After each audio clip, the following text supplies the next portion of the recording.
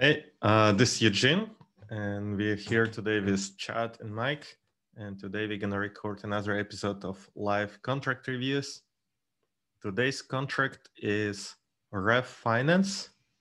Uh, this is an exchange contract this that extends on top of Uniswap and also aligns with the near asynchronous ecosystem to solve certain problems that arrive when you have asynchronous transactions. So let's jump into this. It's currently deployed on a mainnet, uh, but it doesn't have a UI. You can only interact it with this with CLI so far. And it's open source. And you can see um, and play with this. So to start, we start in with Lib. I just updated Cargo Toml to the latest third version of NearSDK. And this is the commit from current master. So some stuff might not work as expected, but hopefully we can resolve this quickly.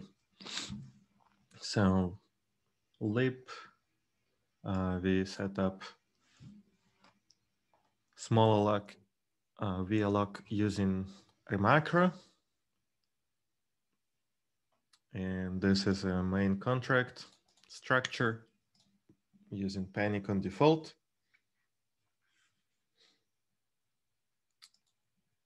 All right, so we have an owner ID, the account of the owner of this exchange that has a extra method to call exchange fee is a fee that exchange keeps uh, to itself, a referral fee that is given if someone is trading using a custom front end. So the front end author can keep a small fee by passing their own refer, uh, referral to, to every trade action or every swap action. And pool is a list of pools. Um, I'll go into this. Deposited amounts is the account to account deposit, and we'll talk about this. And whitelisted tokens is a list of token IDs, a contract IDs that are allowed to, to be exchanged in this contract. First, what is a pool? The pool is an numerator. So it's a generic pool wrapper that can be implemented in multiple ways. So, so far it only has one implementation, which is called simple pool, which is uh, a pair of tokens similar to Uniswap that exchanges. Uh, and it currently has max number of tokens equal to, we'll go into simple pool later. So pools may have different implementations in the future and there can be multiple different types of pools. They are in vectors, which means once they added, they cannot be removed, uh, which is interesting, but probably a safer way. I prefer to use a lookup map now for instead of vector because vector doesn't have ability to delete, uh, but sometimes it's uh, preferred to use a vector. So deposited amounts is account ID to uh, deposit. And what scenario does that apply? Sorry, that's for uh, that's like a UI that that comes through on the UI, right? Like once a pool is set up between two tokens, it can't be deleted, or is this for like contract implementation? Um. Well, no, no. So let's say in the future we have some legacy pools that we don't need anymore. Then we cannot really remove them from storage, uh, remove the ability to interact with them because they're in vector. So it'd be between like banana tokens and wrapped. No, it's more like uh, let's say the simple pool has a bug or something like this. So we want to disable all simple pool issues. uh, they will be in the vector forever because we cannot have empty slots in the vector. Okay, so it is, it's like a contract upgradability consideration, not uh, like what people yeah, see when yeah. they use the app. I, I guess, I, I don't know. So account deposits is information per account. So we have a native amount. So this is used for storage right now of this given account. And um, and there has we also have tokens, which is a hash map from a contract ID to a balance. And what's interesting is account is can have different tokens from the master contract. So this uh, somewhat was unexpected, but we can see later how that works. Because I would think, what's the point of store an account or store a token that's not um, that's not cannot be traded because it's not whitelisted, but maybe you cannot even add this, then then you can use an index. Um, but maybe you delist a token and then you can only withdraw it. So I don't know. Anyway, so it's a hash map, not an ordered map. So you can have only a limited number of tokens on your account at a given time, which is another choice. Unclear why you want to have it this way, but maybe to be efficient in a number of swaps, you want to have it this way, but can be probably re-implemented later to, to be an ordered map. Uh, minimum account deposit length is is 16 plus 4. So this is account ID plus balance. And it's a storage for, for I guess, for depositing uh, into Exchange. Let's go back for now here. So when you initialize a contract, you give prefixes and set up Exchange. Um, and owner ID. So, um, you can use into, at least in this case, because you don't need a valid uh, account ID. Now, a payable method to add a simple pool. This can be called uh,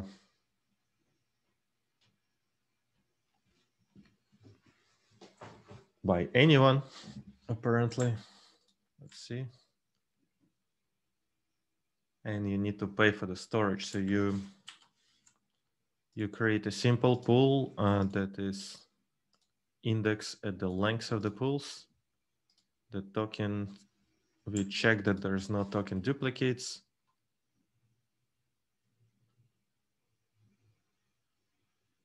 Okay.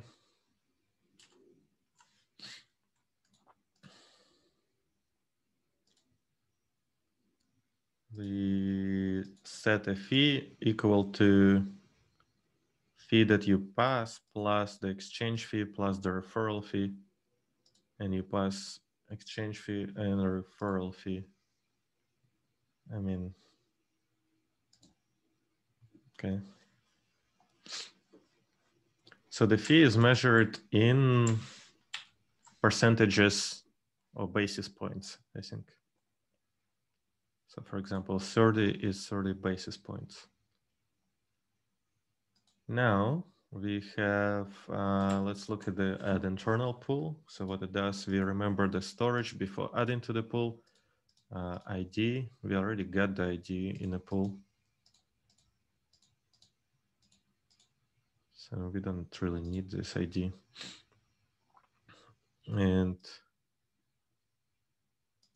we check what's the difference in storage multiplied by using env byte cost, which is already updated. And We make sure that there's enough storage. Then we generate a refund and we transfer it to predecessor and return the ID. Cool. Okay. Um, simple new. Let's see what happens when we create a simple pool. So total fee should be less than fee divisor, which is 100%. And total of the exchange should be less than total fee. Then number of accounts should not be one, but also number of accounts should be less than maximum number of tokens or equal. And then we convert it into a vector of accounts, then amounts, volumes, swap volumes. What is swap volume? It has um, input and output. For every token, we have input and output. Okay. Fees, shares. Um,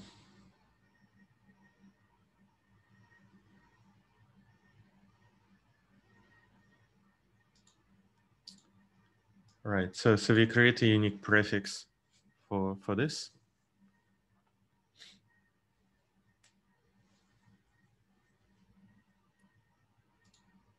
I was thinking to, to make an example eventually. It's uh, out of scope for this contract of how you manage storage. So I see pattern where we had to use a unique prefix and we come up with this idea. So like, oh, let's use S here, or let's use uh, something else there. And uh, then you need to remember what uh, prefixes you already used. For example, here you use P, D, and W. You need to make sure you didn't use S in the past. So I was thinking, so Al suggested to use um, kind of unique ID for, for creating a prefix.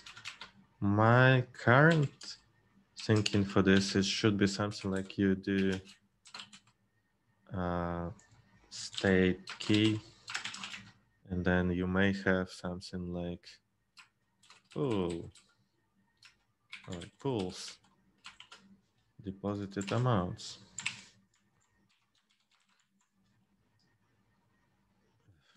My CPU is going wild. I don't know what's going on. It's slow. One second, I'll quickly check what's going on.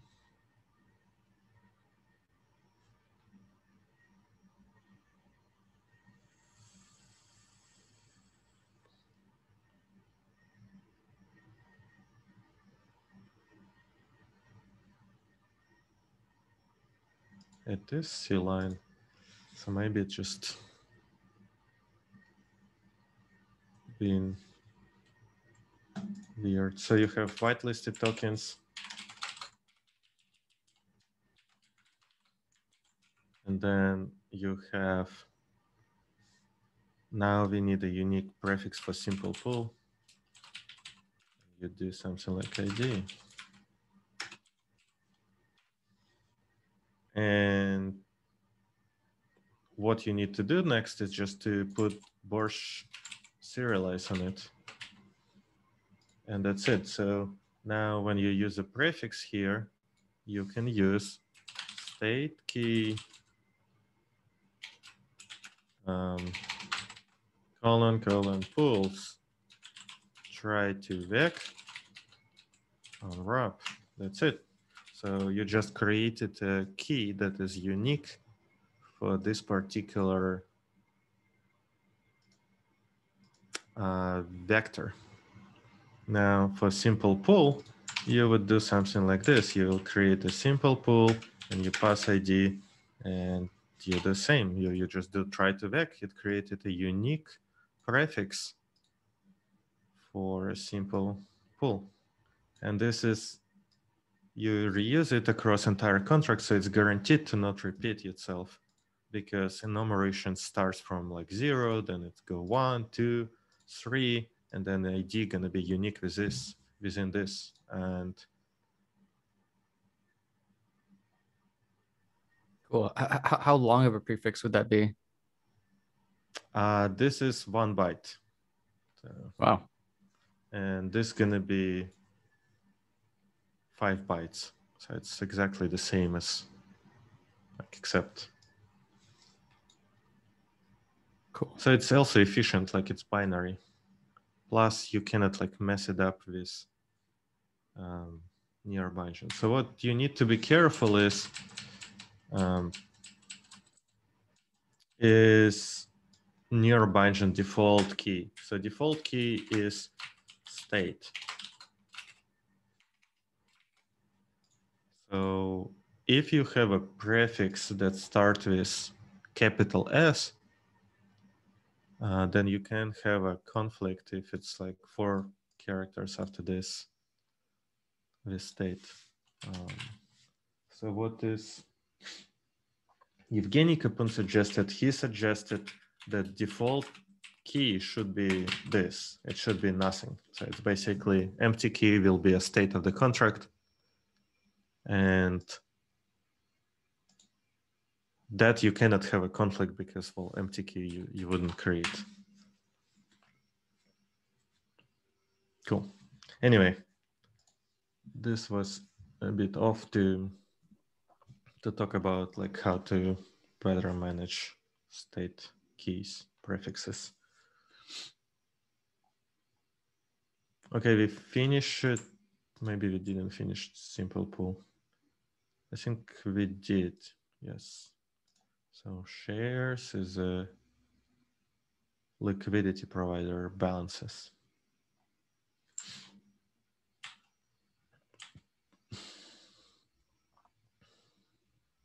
Okay, swap.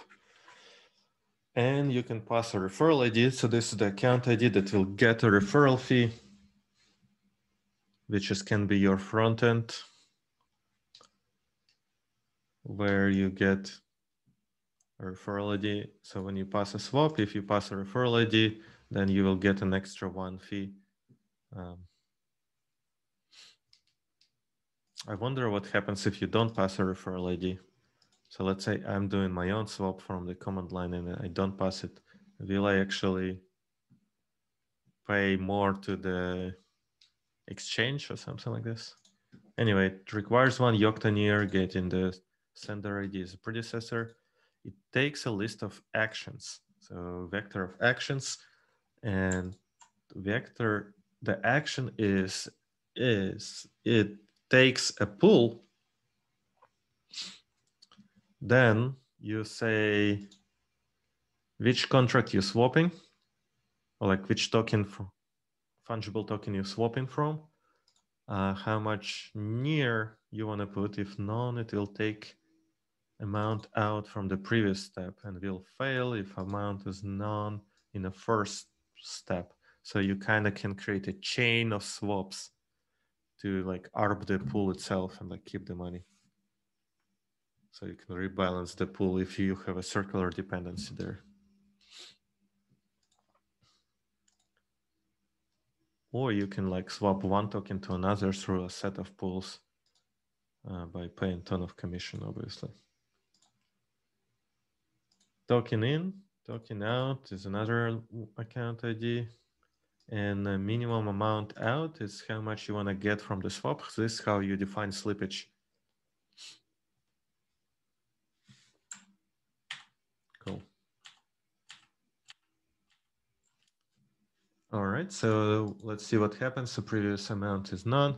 Then we're gonna go through the list of actions and and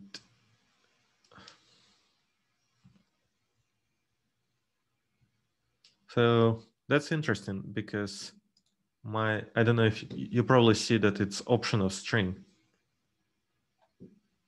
even so, as ref returns you account ID.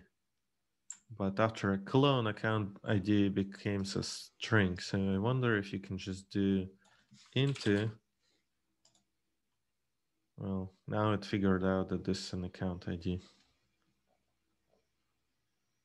Even so, it doesn't matter in this case. Maybe it will not figure out what is the into I'm doing it because um, actually no, it knows. Okay. Um,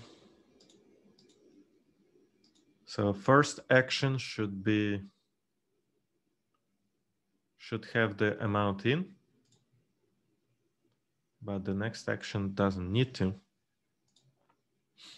Then we do in a swap that returns a previous amount. It kind of gonna fail if list of actions is empty. It's gonna try to unwrap here and this will panic, which is good. So at least we covered that, that corner case. So we call internal swap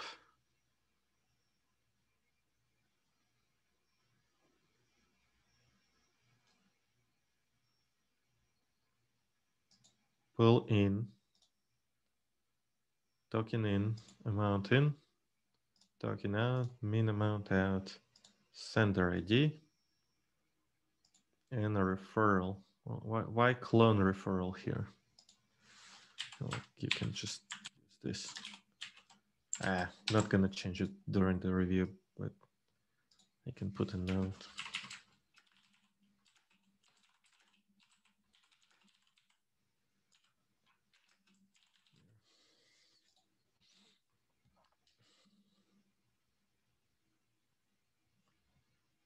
Okay, let's actually see what is internal swap. Internal swap deposits. We get the deposits of the sender ID and wrap a default. I mean, if account doesn't exist, we can just panic. Um,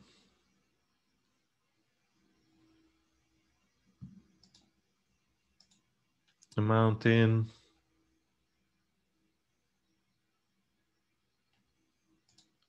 So we have sub, a sub takes account ID, which it doesn't really need a reference to.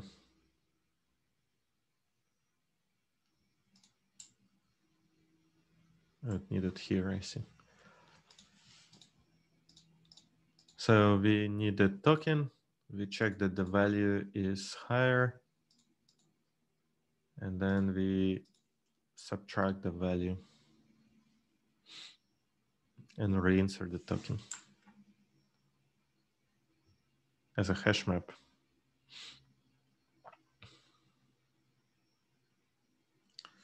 Maybe that's supposed to assume that the, it's not a hash map or what's the particular reason of doing it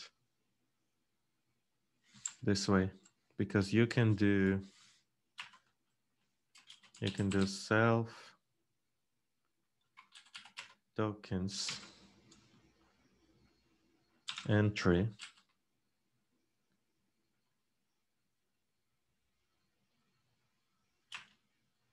Then you say token. And then you can do, I actually don't know. There's probably a method, something like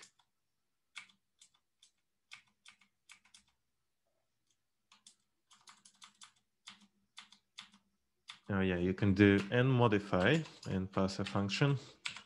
So it's to be value. And you can say value plus equal. Um, oh, well, you need to check, but you can do check. Well, yeah, you need to like do this kind of logic here. So you need to do this And then you do minus equal to amount. And, and modify returns you self. Occupied to vacant. Um, and then you can say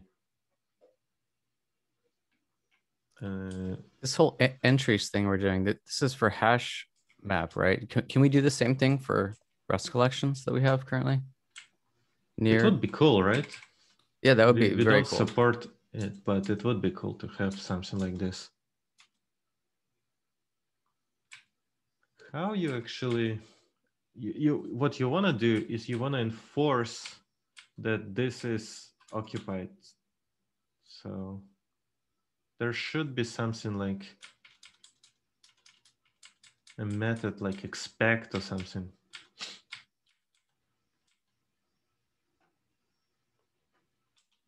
I cannot find it. I need to look into this later. So if you go here and then go to entry, um,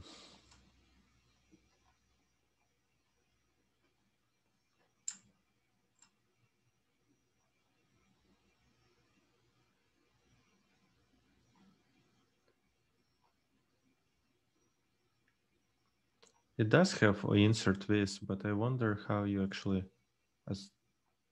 enforce it.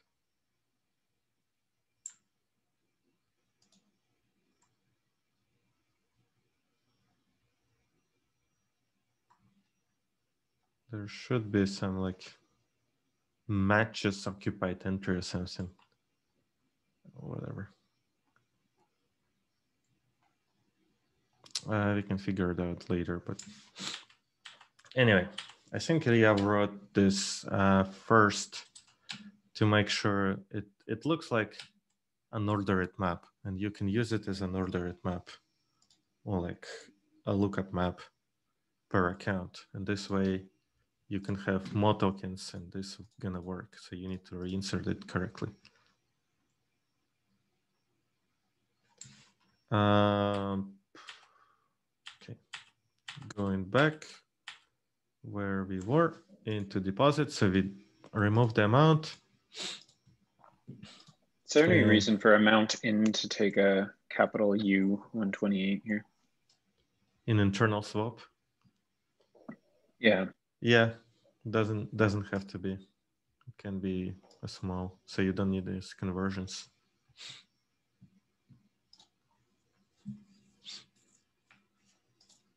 pool and um, you get a pool by index and then you execute swap in a pool, which is a generic implementation that will do account or like pull specific action. Then you add a deposit on amount out for the token that you get. Um, kind of didn't check that the amount in is different from amount out or token in different from token out. Then you insert your deposits back for the given sender, replace the pool. Right, because it's a vector. And return the amount. So let's see what's going on in the swap. So simple pool calls simple swap. And what we do, we get token index, token in, token out, internal get return. We still haven't checked that the tokens are different. Token index is iterating on a pool on a vec and just gives you. What would the is there an exploit I can do by swapping like banana? It probably banana? checks it somewhere. What would happen if they were the same? Seems like I would just burn gas fees and get no benefit. No, it can be like overflow somewhere here. So like you can mess it up somewhere. Journal get return. So it returns you the value that you should get. Oh yeah, it checks it here. So, so you out of luck.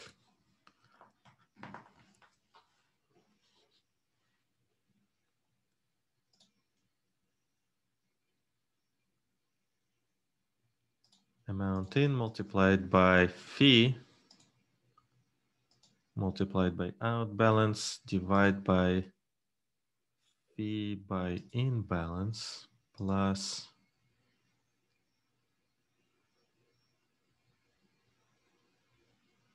amount with fee. What's going on here?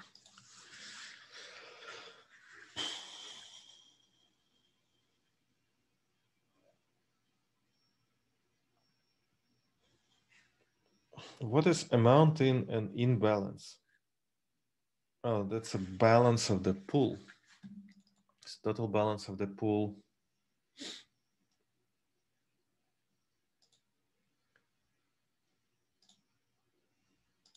Fee minus total fee.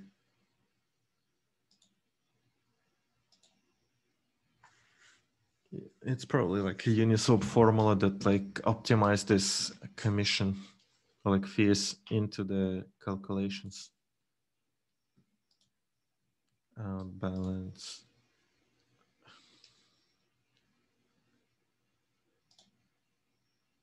Then, right.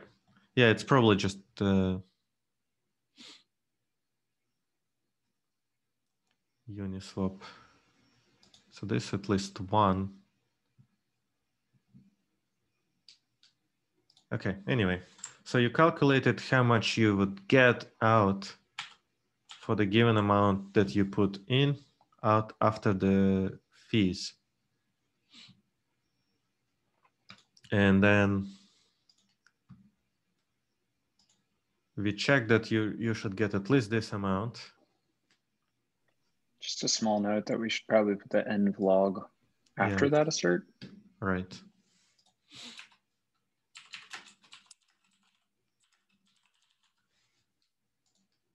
Yeah, it's interesting because I'm not sure how Ethereum does this, but like, let's say a transaction was reverted and we throw a bunch of logs. Did we? Did we log? We do log, but like, question is like, is it considered to be real or not? Anyway, so mean amount, previous. Like if someone is indexing and reads that log. What is the invariant here? Integer square root. So we multiply this by that. What is this? What is that? And then and then we did the swap and we verified the invariant. That new invariant has to be higher. Okay. Why we need the SQRT? Is this like the, the pool has to have over collateral or over liquidity or something? I'm not sure. I'm not sure. I'm just kind of guessing. Shares total supply. That's a numerator. It's how much fees you got in square root by total supply.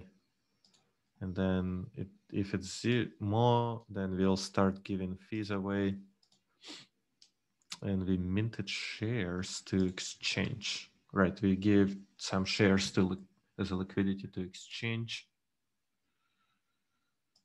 Then we give shares to referral. But it doesn't check for the storage when you give liquidity to referral. So you can abuse it through referral by like having unregistered referrals spamming in and that will create a ton of storage as minting shares to referrals. So you, when you do mint shares, you need to make sure that this account that you add in shares to is already pre-registered.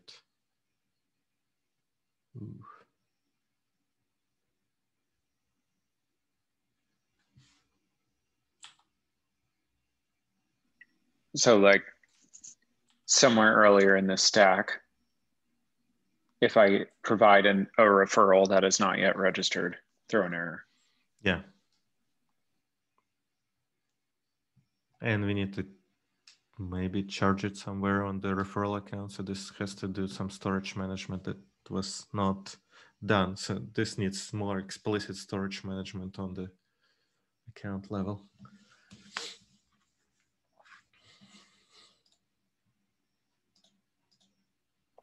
Is it uh, min equals max storage management like fungible token? No, or no, no, it needs to be flexible because you can have liquidity on every pool and you're supposed to in theory have multiple tokens. So right now they're charged from the account balance. Anyway, um, we minted shares total fee divided by referral fee. What?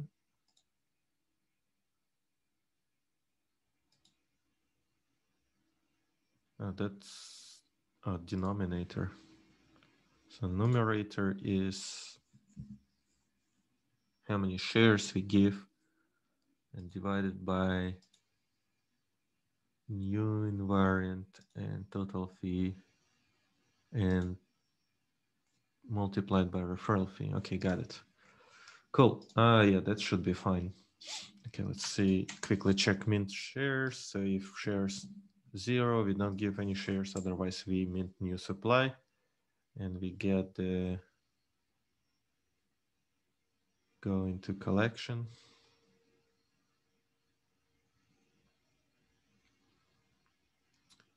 To add uh, to previous value plus value on a given key and reinsert this to the lookup map.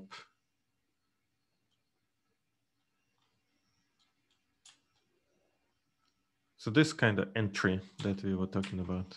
Let's also quickly check integer square root.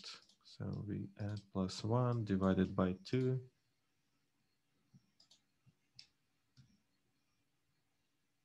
And then we use Newton method, I guess. Divide by two until guess is less than res. Wait. Oh, right. Yeah, until it's like convergent.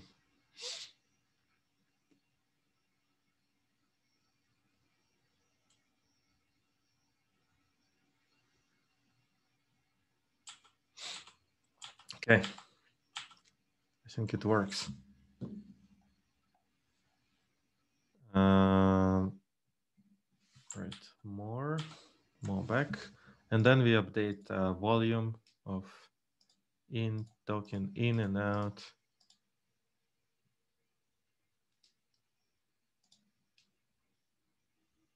That kind of strange to me.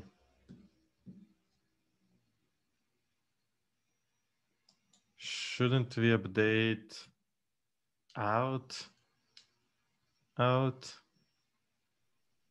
put? Out, uh, yes, seems like it.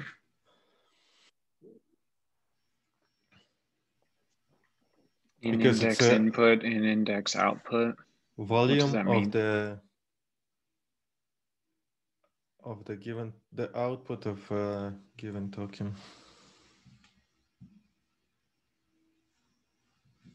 Yeah, I think it should be like this. Let's um, do.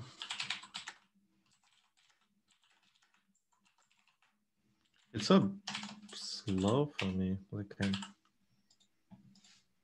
is the volume of the volume of the liquidity in there? Uh, this is just for statistics, like how much it was swapped. That's how I probably. Oh, okay.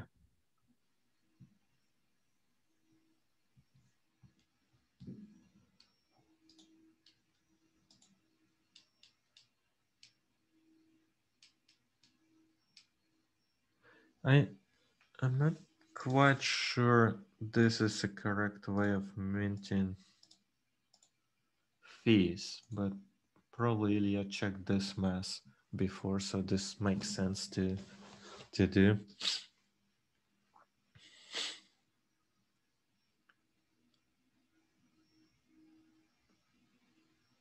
Because you didn't mint more shares to the existing shareholders, but you diluted the sh shareholders.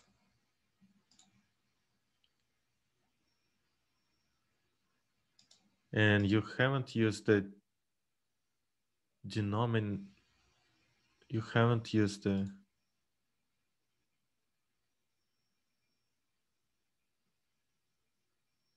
the total percentage. So you divide it by total fee, but what you should have divided is you, you it it's missing it missing fee denominator. So if fee like total fee is 30 and exchange fee, let's say is five.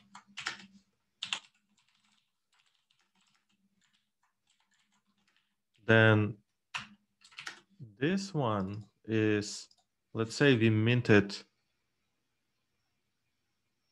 one. Let's say the numerator is one. The new invariant, let's say is one. New in uh, new invariant is let's say ten thousand, or like maybe hundred to one. So we minted like one percent in uh, in during the swap.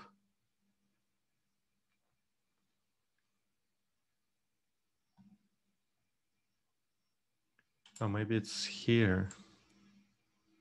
Yeah, there's a fee divisor.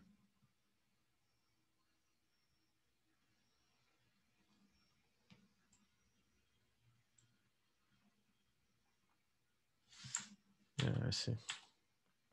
Okay. Allowing to provide fee in what's BPS stand for in this case? Uh, basis points.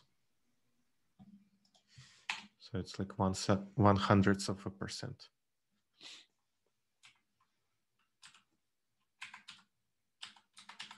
But then, yeah, so numerator already reflects um,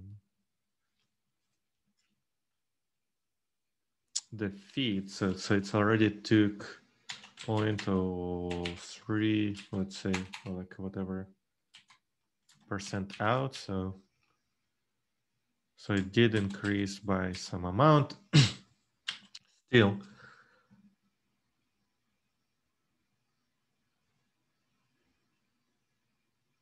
this is all right. Maybe there's a, some formula that's explained somewhere in the mass, but it seems plausible that this works. Okay, let's go back to the original. So once you've done a swap, you get amount out and you updated all amounts and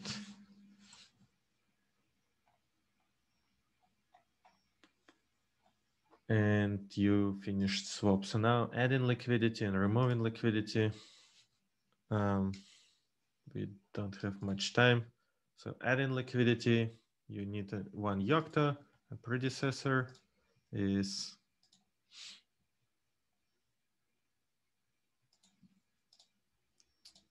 and you we get a pool, we get deposits for the given account, we get tokens, we remove deposits. Uh, what is this? It's iterator. Okay. Um,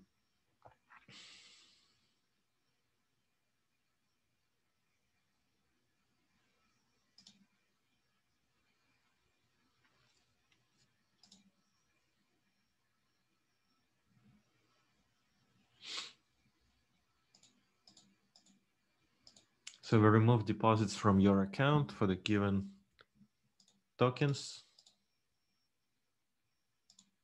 And then we say we add in this liquidity and we save your deposits and we save this pool. Okay. Let's see, add liquidity, pool add liquidity. So it should match shares if pool is initialized to fair supply. Okay. We go through all tokens. Make sure you add in non-zero liquidity of every token. And then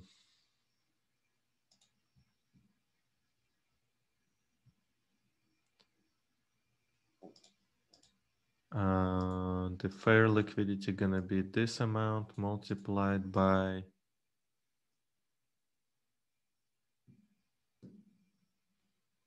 number of shares total supply and divided by this amount. And it calculates a minimum. Now we multiply it by this to calculate how many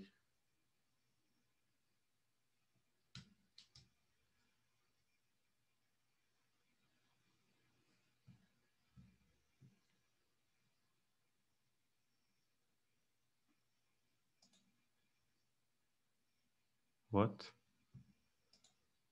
We uh, increment the amounts oh, internal amounts by the amount you added.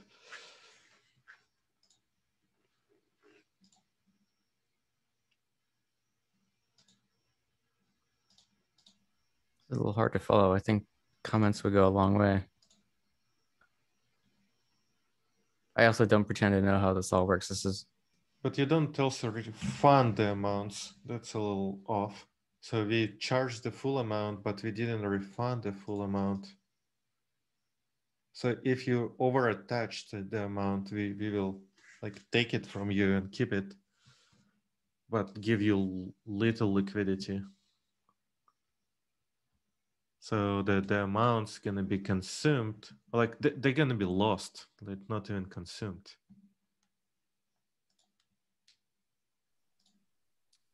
You, you mean? So, so this is amount in, so this is amounts in, and this is uh, self dot amounts is the amount of the given pool. So there's two tokens, but that's fine. Um, we calculate how much, how many shares you should get as a minimum of every amount that you add.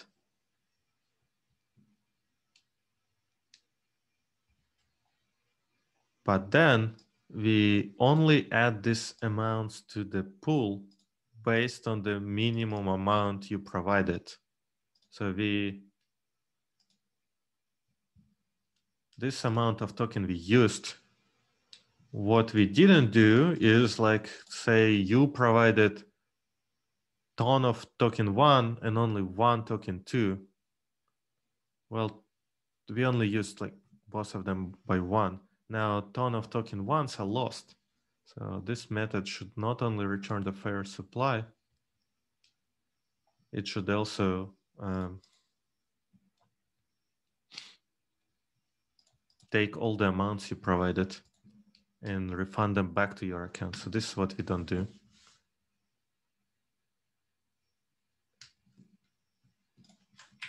So basically you should refund, maybe you just do this, right? You, you can do mut amounts, and then you do amounts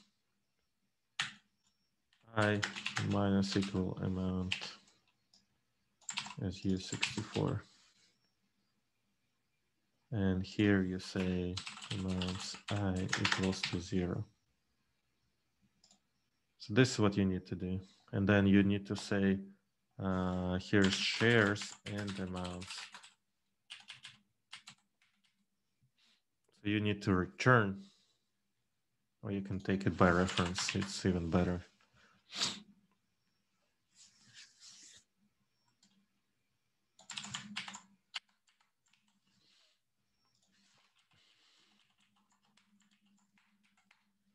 Now, in the the one that called it also has to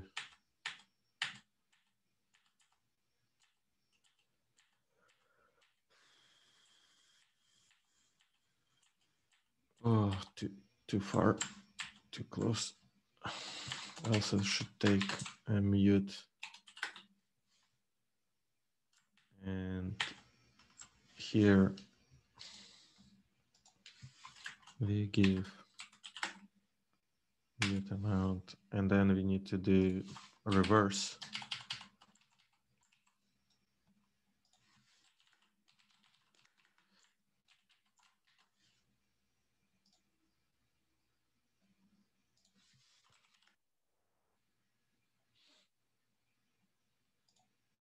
guess not here, but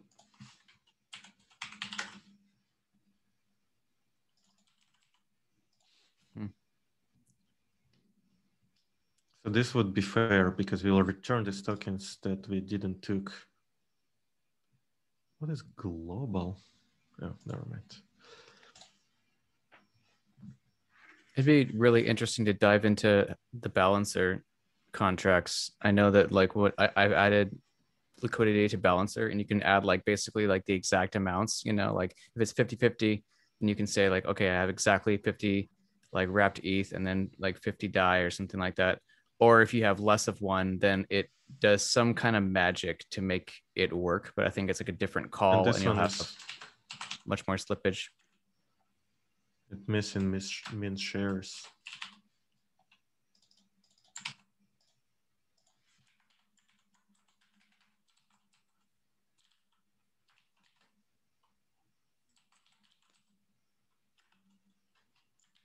And shares should be here.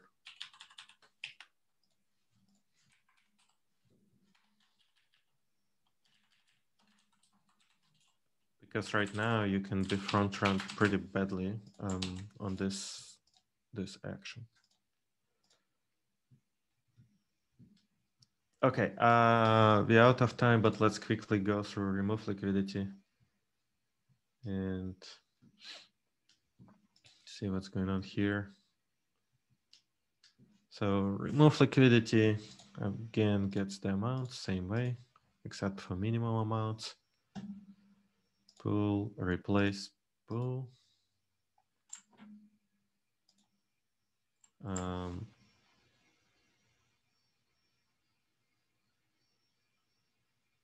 yeah, that that that actually is safer method because well,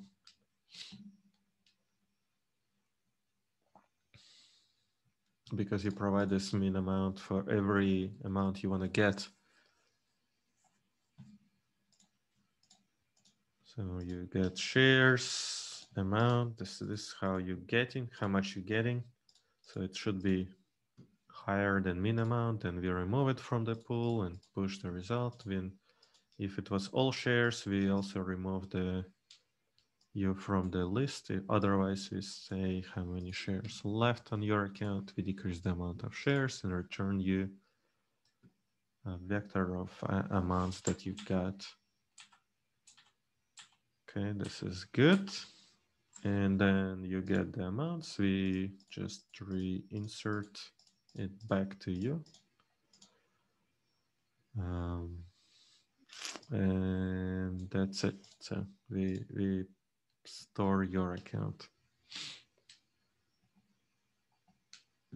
Cool. Uh, overall, I think we mostly covered the basic logic here. I can quickly look what's also there. Storage management. Um, it kind of does something, so I don't know. We don't need to dive into this.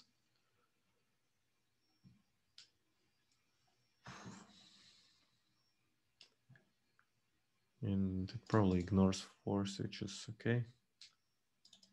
Token receiver. So this one ignores the message, or like it, it expects the message to be empty. I would prefer if message would say deposit instead of being empty. Then internal deposit, it adds tokens. and it um, so yeah, when you deposit a token, it has to be whitelisted. In this case, in theory, we can map it from being account ID to, to be an index because we have a list of whitelisted tokens. So we can save a lot of bytes by just having u32 index of tokens that are accepted by the account, by the exchange.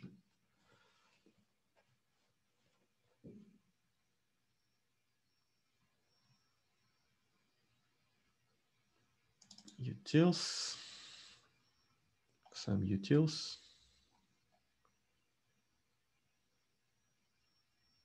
We use, so this vehicles that just gives you a bunch of data. Like pagination. So this, this is so common. I feel like having a range would be beneficial. Fee, pool volumes. You mean in STKRS? Yeah, in for vector and like an ordered map.